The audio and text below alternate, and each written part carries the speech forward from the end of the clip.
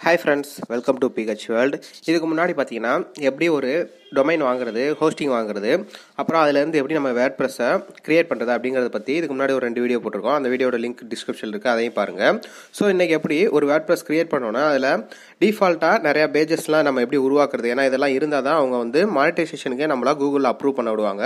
So அதை எப்படி பண்ணுறதுன்னு பார்க்கலாம். ஃபஸ்ட்டு உங்களோட பேஜஸில் போய்க்குங்க. பேஜஸில் பார்த்தீங்கன்னா ஆல் பேஜஸ் அப்படின்னு ஒரு ஆப்ஷன் இருக்கும். அதில் பார்த்தீங்கன்னா நீங்கள் செலக்ட் பண்ண தீமை பொறுத்து சில டைட்டில் ஆஃப் பேஜஸ் வந்து அவங்க கொடுத்துருப்பாங்க. ஸோ அதை பார்த்தீங்கன்னா கீழே ட்ரஷ்னு ஒரு ஆப்ஷன் இருக்கும். ஸோ அதை கிளிக் பண்ணி நீங்கள் அதை டெலீட் பண்ணிக்கலாம். அதை டெலீட் பண்ணிட்டீங்கன்னா சைடில் பார்த்தீங்கன்னா ட்ரெஸ் அப்படிங்கிற ஆப்ஷன்லேயே அது இருக்கும்.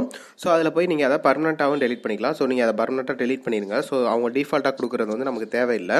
ஏன்னா நம்மளாக தான் நமக்கு ஏற்ற நம்ம தான் வெப்சைட் க்ரியேட் பண்ணுறோம் ஸோ நமக்கு ஏற்ற மாதிரி தான் அது உருவாக்கணும். அதனால் அதை நீங்கள் டிஃபால்ட்டாக கொடுத்துருக்கறதை நீங்கள் டெலீட் பண்ணிடுங்க. ஸோ டெலீட் பண்ணதுக்கப்புறம் பார்த்தீங்கன்னா இப்போ நீங்கள் பேஜஸ் உருவாக்கணும். உங்களோட வெப்சைட்டுக்கு மினிமம் ஒரு மூணு பேஜஸ் நம்ம உருவாக்கி ஆகணும்.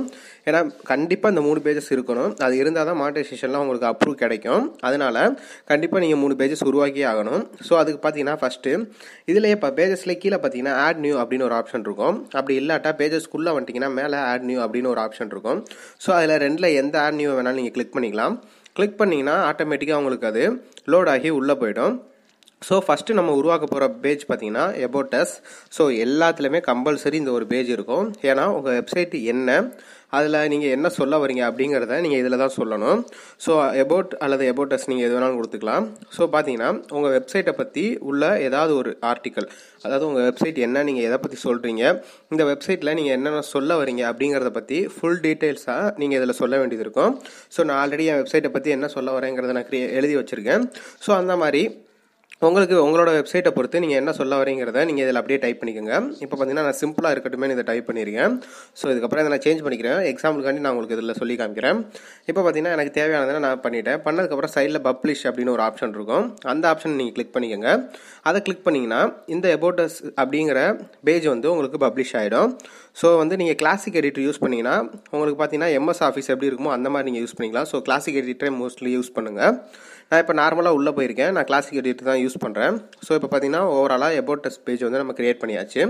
ஸோ அதுக்கப்புறம் செகண்டாக ஒரு ஆட் நியூ மறுபடியும் வந்து ஆட் நியூ அப்படிங்கிறத நீங்கள் கொடுங்க. இப்போ நம்ம செகண்ட் பேஜ் உருவாக்க போகிறோம் ஸோ அந்த பேஜ் என்னன்னு பார்த்தீங்கன்னா காண்டாக்டர்ஸ் ஸோ இந்த பேஜை நம்ம கண்டிப்பாக உருவாக்கி தான் ஆகணும். ஏன்னா சப்போஸ் நம்ம வெப்சைட்டை பற்றி ஏதாவது ஒரு டவுட் இருக்குது அப்படின்னா அவங்க நம்மள்ட்ட தான் கேட்பாங்க. ஸோ காண்டாக்டர்ஸ் அப்படிங்கிற பேஜை நம்ம உருவாக்கி ஆகணும்.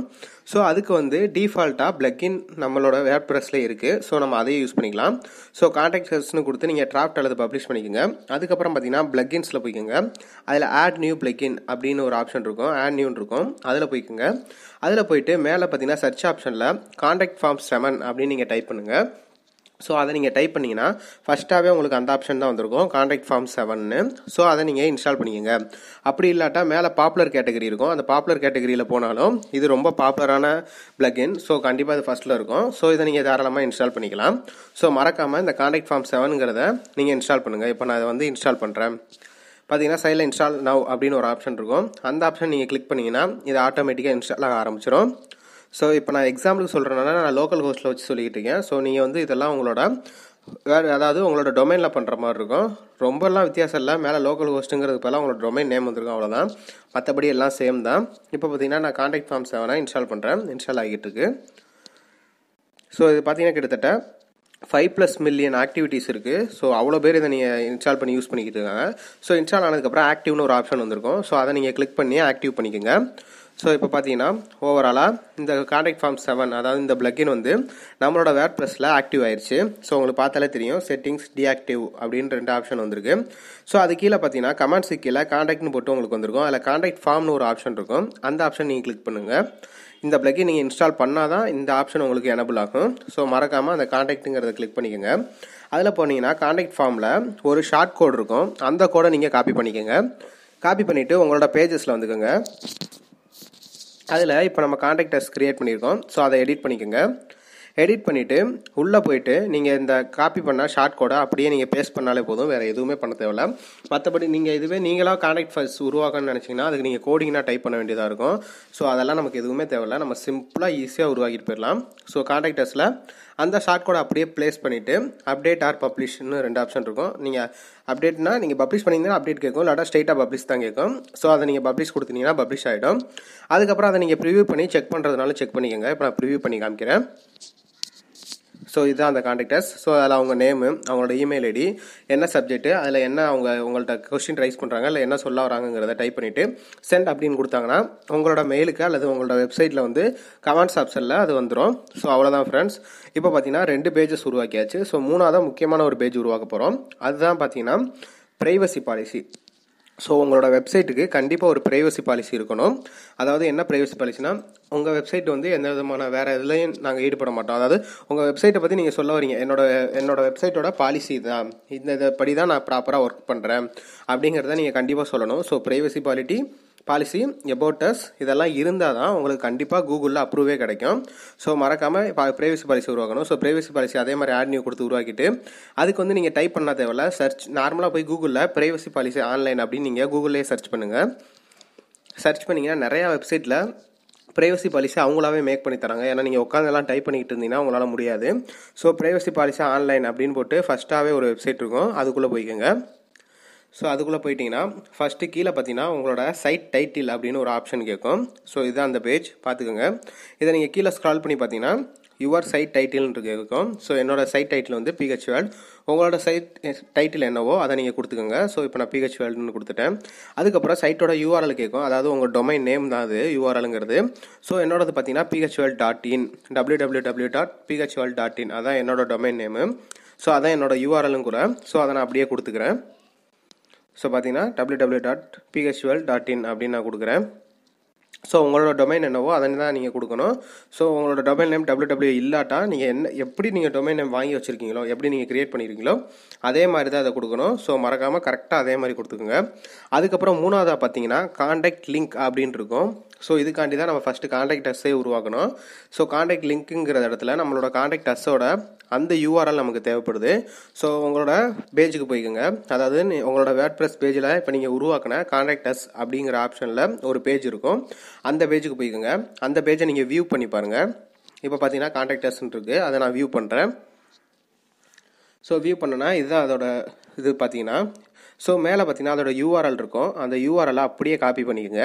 ஸோ அதை கிளிக் பண்ணி ஓவராலாக அந்த யூஆர்எலை டோட்டலாக காப்பி பண்ணிக்கோங்க. இப்போ நான் அதை காப்பி பண்ணுறேன்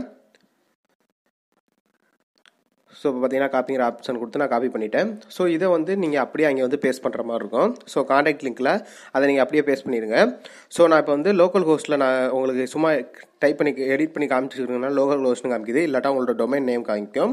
ஸோ உங்களோட டொமைன் நேம் தான் முக்கியம். ஸோ அதில் வந்து லோக்கல் ஹோஸ்ட்னு வராது. ஹச்டிடிபி உங்களோட டொமைன் நேம் தான் வந்திருக்கும். ஸோ டொமைன் நேம் கொடுத்துக்கோங்க. அதுக்கப்புறம் பார்த்தீங்கன்னா உங்களோட இமெயில் அட்ரஸ் நீங்கள் எந்த இமெயிலை வச்சு நீங்கள் இதை உருவாக்குறீங்களோ அந்த இமெயில் அட்ரஸே கொடுத்துக்கலாம். இப்போ நான் என்னோட இமெயில் அட்ரஸை கொடுக்குறேன். ஸோ பார்த்தீங்கன்னா என்னோட இமெயில் அட்ரஸ் கொடுத்தாச்சு. இதுக்கப்புறம் பார்த்தீங்கன்னா இமெயில் என்கிரிப்ஷன் அது வந்து நோலே வச்சுக்கோங்க. ஸோ அது ஒன்றும் பிரச்சனை இல்லை. அதுக்கப்புறம் உங்களோட குக்கீஸ் அதாவது உங்கள் வெப்சைட்டில் குக்கீஸ் வந்து அக்செப்ட் பண்ணுறீங்களா அப்படின்னு கேட்கும். குக்கீஸ்னால் ஒன்றும் இல்லை.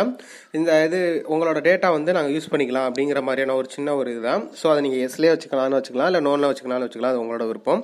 ஸோ நான் எஸ்லேயே வச்சுக்கிறேன்.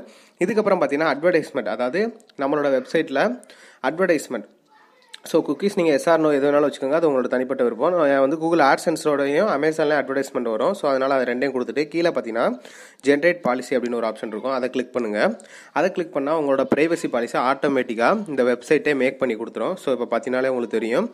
ஃபுல் ஃபைல் இருக்கும். இது எல்லாமே ப்ரைவசி பாலிசி தான். இது எல்லாமே கரெக்டாக ப்ராப்பராக ஒரு உருவாக்கி கொடுத்துருக்கோம். ஸோ இதை நீங்கள் ஓவராலாக அப்படியே காப்பி பண்ணி நீங்கள் அதை பேஸ்ட் பண்ணாலே போதும். இல்லாட்டா நீங்கள் இதெல்லாம் உட்காந்து டைப் பண்ணிக்கிட்டுலாம் இருக்க முடியாது. அதுக்காண்டி தான் இந்த மெத்தட் ஸோ இப்போ பார்த்தீங்கன்னா இது ஓவராலாக அப்படியே நீங்கள் காப்பி பண்ணிக்கோங்க. இந்த ப்ரைவசி பாலிசியை டோட்டலாக அப்படியே காப்பி பண்ணிவிட்டு உங்களோட வேர்ட் ப்ரெஸ்க்கு வந்துக்கோங்க.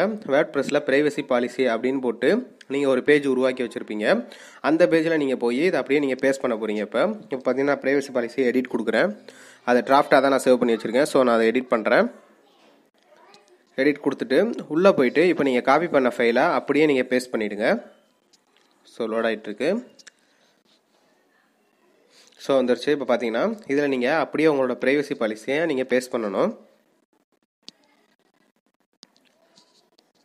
ஓகே இப்போ பார்த்தீங்கன்னா ஃபுல்லாக பேஸ்ட் பண்ணியாச்சு. ஸோ இவ்வளோ தான் ஃப்ரெண்ட்ஸ் இப்போ பார்த்தீங்கன்னா நம்ம ப்ரைவசி பாலிசி ஃபுல்லாகவே மேக் பண்ணியாச்சு. இதில் பார்த்தீங்கன்னா எல்லா விதமான லீகல் டேர்ம்ஸ் அண்ட் கண்டிஷன் எல்லாமே அவங்களாவே ஆட்டோமேட்டிக்காக வந்துடும் ஸோ இதுக்கப்புறம் மேலே பப்ளிஷ்னு ஒரு ஆப்ஷன் இருக்கும். அதையும் நீங்கள் கிளிக் பண்ணி பப்ளிஷ் பண்ணிடுங்க. ஸோ இப்போ பார்த்தீங்கன்னா நமக்கு தேவையான கான்டாக்டர்ஸ் உருவாக்கியாச்சு. எபோட்டஸும் உருவாக்கியாச்சு. இப்போ பார்த்தீங்கன்னா ப்ரைவசி பாலிசியும் உருவாக்கியாச்சு. ஸோ இந்த மூணு பேஜும் கம்பல்சரி ஒரு வெப்சைட்டுக்கு இருந்தே ஆகணும். ஸோ இது இருந்தால் தான் உங்களுக்கு கூகுள் ஆட்சன்ஸில் வந்து உங்களுக்கு அப்ரூவ் கிடைக்கிறது ரொம்பவே ஈஸியாக இருக்கும். ஸோ கண்டிப்பாக இந்த மூணு பேஜ் இருந்துச்சுனாலே அவங்க உங்களுக்கு அப்ரூவ் கொடுத்துருவாங்க.